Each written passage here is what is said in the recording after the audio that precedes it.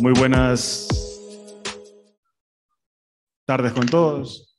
Eh, es, grato estar acá formando, representando parte de la academia para continuar con el último panel del evento del día de hoy. Eh, nuevos desarrollos tecnológicos para una reindustrialización verde y exitosa. Agradezco por favor que tomen asiento para dar a conocer los integrantes del panel. De parte de Bosch va a presentar Mauricio Gómez, que me indican que va a ser online, así que se encuentra por ahí. Eh, de parte de UNSEM, Rodrigo Naranjo, por favor, también puede pasar acá al estrado para continuar con el panel. Rodrigo Naranjo. De parte del INDE, Raúl López González. De parte de Zurich Seguros Ecuador, Nicolás Marchán. Y finalmente de Banco Procredit, Karen Angulo. Bienvenidos. Eh, vamos a dar paso a un conjunto de preguntas. Vamos a eh, generar al menos una pregunta para cada uno de los expositores y que nos den su perspectiva no solamente de, a nivel de la empresa, sino también un, poco de la aplicación en Ecuador. Entonces, la primera pregunta tengo para Raúl López, del INDE. Y, sí, por favor. Ah, Raúl, algunos de los sectores donde se puede aplicar tecnología para una decarbonización industrial es el sector alimenticio. ¿Cuáles serían los beneficios de esta transición en un país agrícola como el nuestro? Bueno, eh, en la parte agrícola, en la parte de alimentos, consideramos que el uso de amoníaco como fertilizante pudiera dar pues, un buen impulso a la industria agrícola en general. Eh, considero que ahí, ahí debería estar más centralizado la, la aplicación de, del hidrógeno y la transformación eh, del, del, amoníaco, ¿no? En, en, términos generales. Aunque, eh, perdón ahí por la, por la confusión, pero eh, está pensando que hay algunas empresas, eh, y no, no necesariamente del sector de agrícola, sino de la transformación de alimentos, que se nos han acercado para precisamente eh, los equipos que usan para la transformación y el proceso de esos alimentos sean utilizados con un cierto porcentaje de hidrógeno. Eh, esto porque hay industrias que al procesar y exportar pudieran pues tener una ventaja de demostrar una descarbonización en sus procesos actuales. Inclusive para el sector de alimentos y agrícolas puede ser efectivo el uso de hidrógeno. Listo, muchas gracias. Eh, a continuación, una pregunta para Mauricio Gómez, no sé si esté online todavía, de Bosch. Sí, ya. por aquí estoy. Mauricio, eh, es de suma importancia el apoyo en la normativa y en la legislación para lograr que estos proyectos perduren en el tiempo. ¿Cuáles son los primeros pasos que los países en nuestra región deberían tomar en cuenta con respecto a este tema?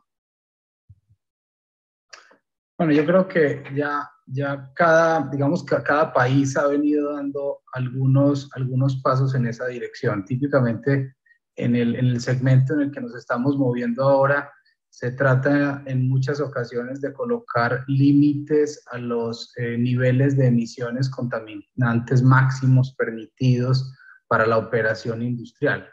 Eh, muchas veces esto se puede segmentar, obviamente hay industrias, digamos, más fácil o más difícilmente descarbonizables en el corto y en el mediano plazo. Eh, pero el, tema de la normativa ya está avanzando. Yo comentaba hace un rato que inclusive en el caso del Ecuador, según tenemos nosotros en Bosch entendido desde 2015, por ejemplo, eh, ya no se deben, ya no se pueden eh, instalar calderas que, nuevas, o sea, en instalaciones nuevas que operen con búnker. Este, este tipo de iniciativas, obviamente, en términos de descarbonización, son bienvenidas y necesarias. Lo que se debe hacer realmente ahora es seguir ampliando, o sea, el papel de la normatividad y legislación es fundamental. es ampliarlo, por ejemplo, al parque instalado, hacer análisis de industrias descarbonizables que ya estén utilizando eh, mucha intensidad de carbono. Y eh, una, digamos, una recomendación general es eh, idealmente acompañar esto con con programas de acompañamiento de la industria, que no se quede solamente en la parte, digamos, prohibitoria y obligatoria, eh, sino en generar eh, ecosistemas que, que, le permitan a las empresas descarbonizarse, hacerles eh, temas de financiación, ventajas fiscales, eh, acompañamiento tecnológico. entonces, aquí, el, digamos, la parte fiscal, la, perdón, la parte normativa y legislativa tiene mucho que hacer para acelerar el proceso. Muchas gracias, Mauricio. la siguiente pregunta sería para Karen Angulo, de Banco Procredit. Según su opinión, ¿cuáles son las perspectivas de desarrollo de proyectos sustentables en el Ecuador, tomando en cuenta las condiciones de financiamiento actuales? Bueno, como lo explicaba justamente en mi presentación a nivel internacional, eh, todos los inversionistas ya están volteando su mirada hacia proyectos sostenibles. Es más, se han desarrollado también los indicadores, los SG, que son para analizar también eh, hacia dónde se está yendo el dinero, cómo se está eh, alocando estos, el dinero en proyectos sostenibles y es donde las instituciones financieras eh, tienen un rol fundamental para alocar el financiamiento y todo el fondeo que se requiere para proyectos sustentables, proyectos de adaptación y mitigación al cambio climático, que es algo que ya estamos viviendo.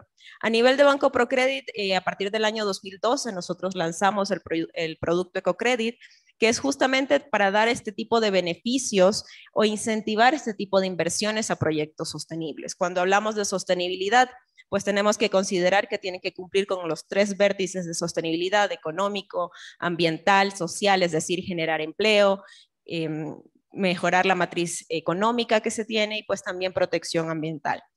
Este, este, tipo de proyectos en un inicio pues quizás no se los consideraba muy rentables, porque requieren un tiempo o un plazo para poder eh, ver la rentabilidad del proyecto mucho mayor que proyectos normales.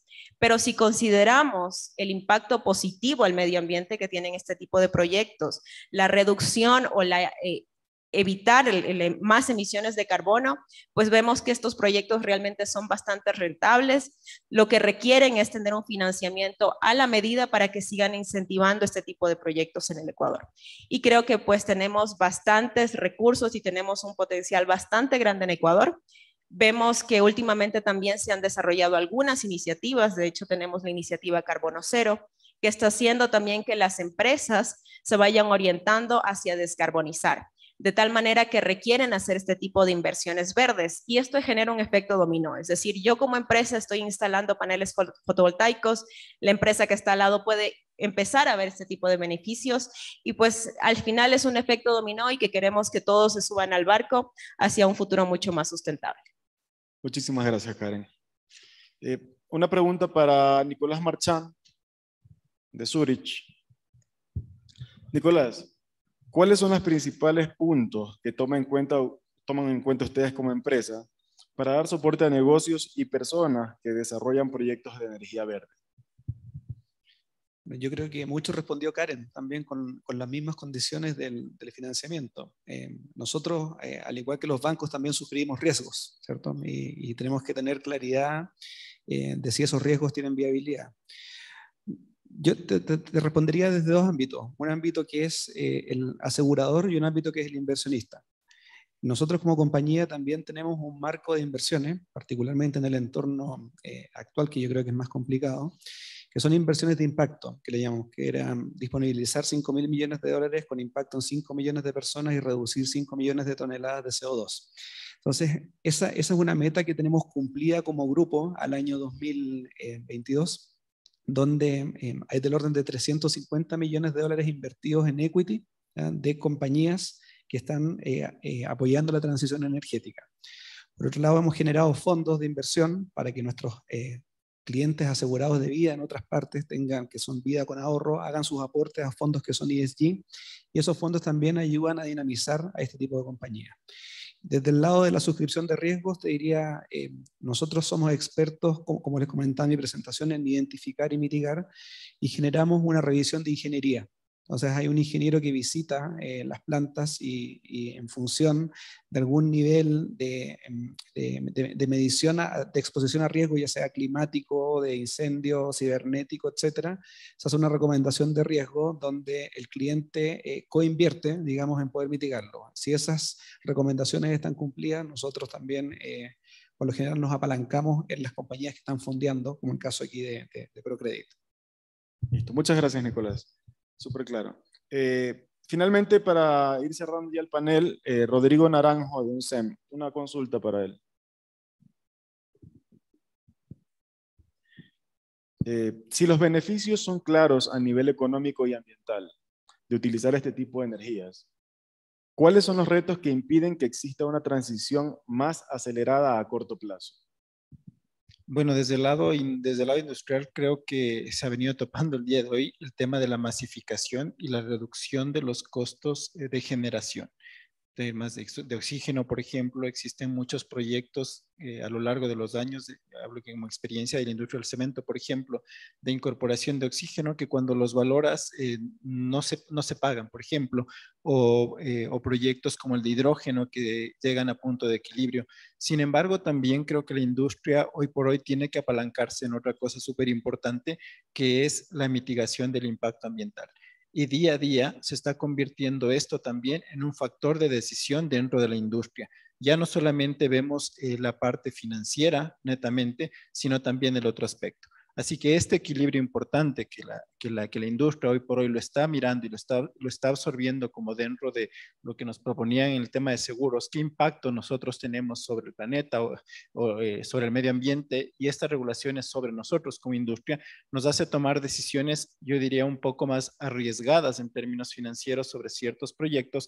Y, eh, como decía, la masificación de estos, la accesibilidad, y rondas de negocio como esto que estamos hoy día viviendo, que nos pone más cercanos a la, tecnología o más cercanos en las mesas para eh, establecer una especie de simbiosis, digo yo, entre desarrolladores de industria, entre las mismas empresas eh, o la misma industria para, eh, para utilizar recursos del uno en el otro, pues esto va a ser lo que se genere fácilmente, ¿no? Este desarrollo en términos de energías renovables.